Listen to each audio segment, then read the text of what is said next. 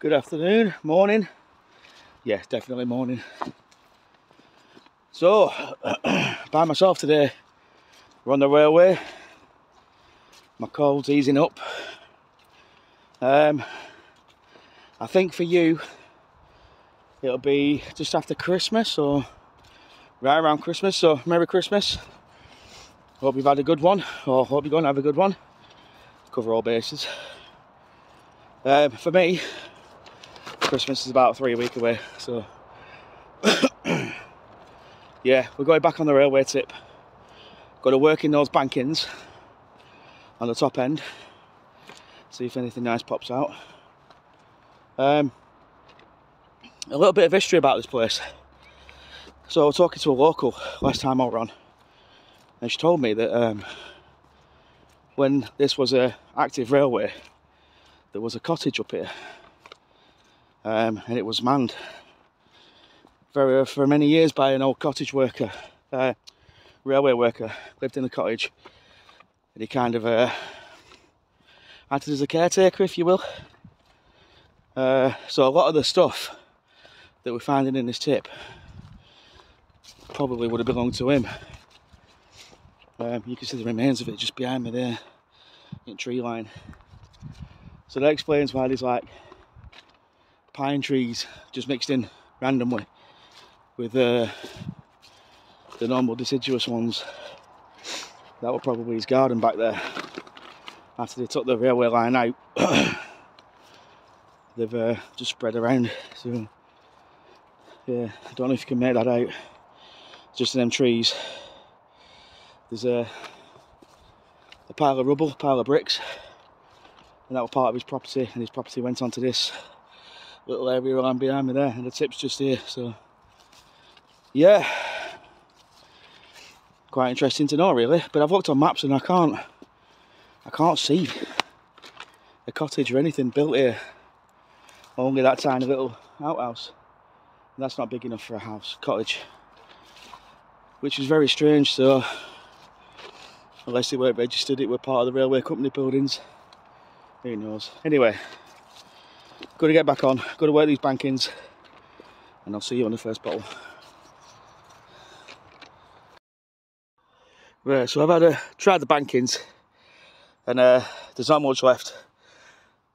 So I'm going to finish off this tree root system that I dug. Uh, this be a third time attempting it after it kept collapsing, but looks a bit wetter now, so it should be compact enough. It's going to go into it, back into it, and see what I can pull out. The first shovel full. We've had a Bisurated magnesia. It's white glass, but shows his bottles in there now. A little perfume, a weird little perfume on, and a lovely, lovely aqua with a bit of label still on it. Uh, it's an early neck on that as well. It's not machine made, so it's promising. Let's get back in and see what else we can pull out. Eh? Right, so I'm going to move. I'm going to move on. Going to have a do back up that top end where uh, all the minerals were coming out. Excuse me. Um, I'll show you what we've had so far out of this hole. It's nothing much productive. It's just the usual stuff. Had a lovely little cream bottle. Rich cream, Smiths. Smith's Dairies. Uh, two Miltons. We've had a lovely aqua panel. A nice little medicine but it's machine made. You've seen those already those three. A little black and ink pot. And we've had this big piece of copper. I thought it was a spinning top at first but I think it's just like a finial. Would have sat on top of, top of something like that. But nothing I need there. I'm not taking anything from there um, I can't get down to my original layer. It's just every time I touch it, all this is just claving in. It's just dropping in because this is backfill from that hole over there. so yeah, I'm not going to waste any more energy on this one. We're going to go on that one. And uh, I'll see you on the next bottle. So first bottle out is lovely aqua panel. Uh, Nope, it's not machine made. Early neck on it. so what I'm going to do is I'm going to go into this fresh that me and Ricky found last time. And just open it up in front of me here. Open a bit of a hole up. Get down to the face.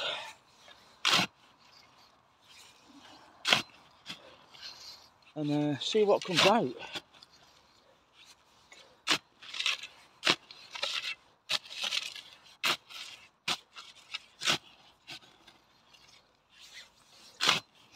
So while we're on, I just uh, want to say thank you for all the subs again, all the uh, comments, all the likes, people that tune in to watch the live streams or the premieres, sit around in the comments chatting. It's all appreciated.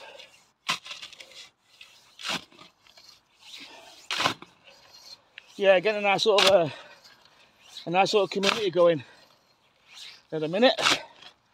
And it's good um, all the diggers all the larkers that are on join in. Have a nice little a nice little chat on a Thursday night. Ponds. Um, just over here literally like three meters away is where I had that really nice Nelson um, aerated mineral water. And I also had that poison right next to it um, and a half a cod. So somewhere in this mound under this tree or bush or shrub whatever you want to call it could be some good stuff. It's just uh, it's just getting down to it. Um, Sunday we've got a plan. I think we're going to meet a new bottle digger he's only been said he's only been at it a few weeks. So me and Ricky are gonna go down and uh, have a dig with him, see what his hole's like. He's pulling some nice old gear out, so he can uh, probably let him keep the lion's share, whatever we find. Wouldn't mind just taking a couple of cods or maybe something like that. We'll see how it comes out, eh? Great, uh, two minutes of me gibbering on. I'm going to turn off and crack on now, alright? Right, so, them bankings at the top weren't really doing anything at all. Didn't have a single bottle out. Um, so I've come down back into the bottom. That's my tree root that I was digging earlier on today. I've come down into this little fresh patch. Um, I'm just getting through this really soft overcapping first, and I've had a few, I've had a few plain bottles out. I've had an amber poison, uh, not an amber poison, sorry, medicine. A plain aqua panel, and then this was the third one to come out. It's plain, machine made, not to be taken. I might just take it, put it on Etsy store. it might sell, it might not. Uh, yeah, the Etsy store is live, by the way, so go and check it out. I've reduced all my prices. Um, I know the cost of living and stuff is going through the roof, so charging seven, eight pound for a bottle uh, might be a bit too steep. So I've knocked them down a bit. yeah, go and check it out. Right, let's crack on it. So I'm uh, just widening this all up. Just had an Elliman's embrocation. It's white glass. It's not what we're after, but uh, I'll put it on the pile anyway. And uh, we'll keep digging. I've just got, it's the same in There's a few more bottles I can hear, so let's get them out. Let's see what they are. Well, looks like we're finally getting onto the bottles. Just out of that corner there, just had this. A Little Dewsbury and Brown. It's a crown top, but it's a three part mould. You can see the seam line going up there. Next being took on. Uh, yeah, not a bad little bottle. It's aqua. And uh as we're getting in onto one. I can go on the pile. Let's keep digging out. Right, so nothing much going on today, but I thought I'd just come back into this little bank. Start digging it out. And that's just falling out at the top. I've not looked at it yet, so let's have a look at it together. Sorry, so I get you on a level pegging. Oh, it is as well. it is as well. It's a. Uh, it's an amber Massey's quarter pint in amber. Oh, that's made it worthwhile. Look at that neck on there. That's beautiful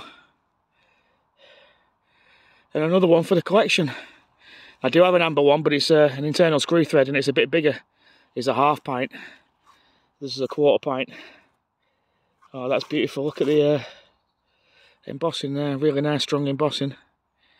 Pictorial's nice and strong. Yeah, I like that. Well struck. A well struck bottle. Uh,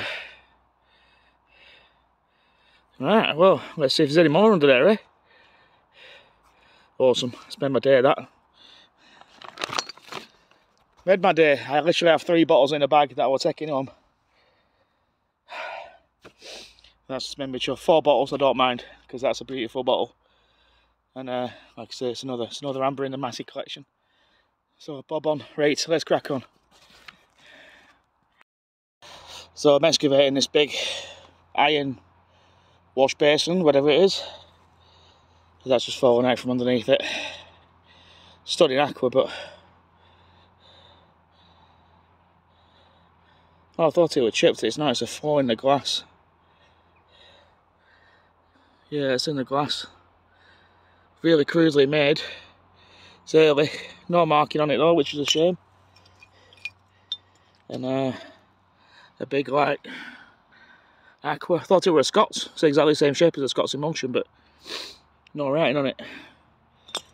So they might make it home, we'll never know. Right, I'll get this out and then we'll see what's behind it.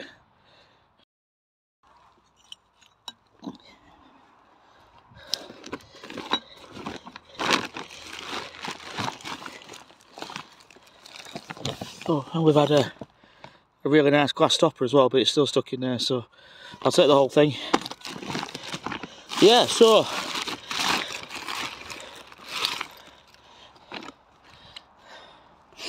Sorry about that.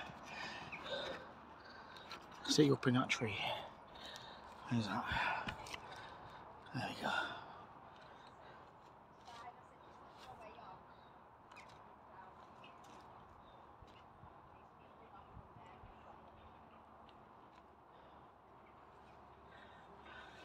Yeah, so there we go. There's a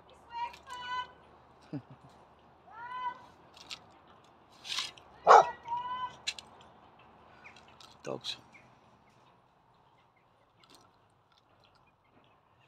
Right, anyway, there we go. Right, so yeah, five bottles and a stopper take home this week.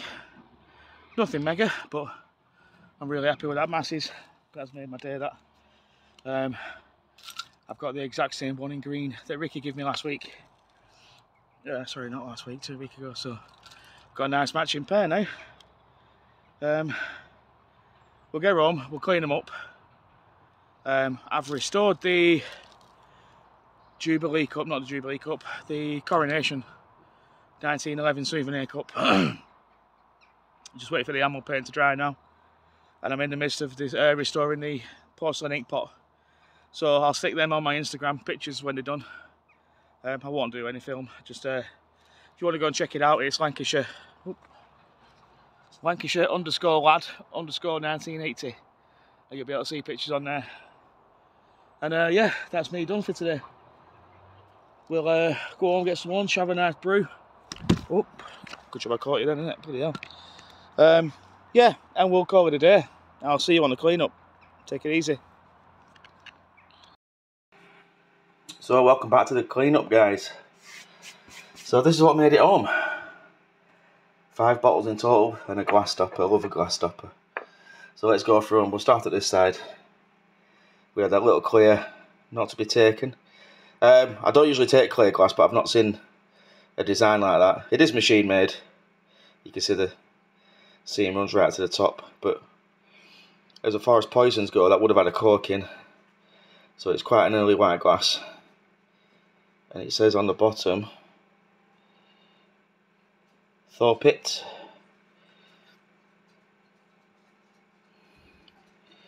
Hmm. Not to be taken. Then we have that lovely square top glass stopper with a ground a ground lip. Whatever was inside it's like a green dye. And it's uh yeah it were hard to it were hard to clean off that to be fair.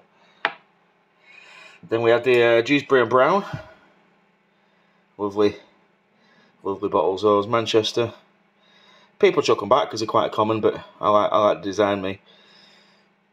With the uh, it had a crown top on there, you can see that. Just a plain old aqua panel. I took it because I like the shape of the shoulders there on top, that rounded, rounded look, and it also had a double, a double lip. And then with the flask, but it's uh, it's got a bit misty inside, so I'm gonna have to clean it a little bit more. It will clean up fine. That just had a quick scrub. with a little coffee flask. And then the start of the show is that little Massey's quarter pint quarter pint beer bottle. Now it does match the one that Ricky gave me. Exactly. But it's in green. So now I have a matching pair, but I think I'm going to give this one to Ricky. He's been after an amber one. He, uh, he found three halves when he were digging, all with the neck broke off, so he's given me a green one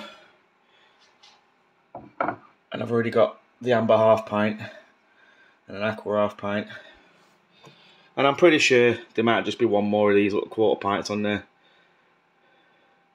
So yeah, stunning bottle. Really nice pictorial. Clean. Yeah, and that's it for this week's cleanup, guys. So, if you like what you see, leave a like and subscribe. Leave me a comment share it about if you don't mind. Um, hopefully a few more people will pick it up and uh, I'll see you on the next one.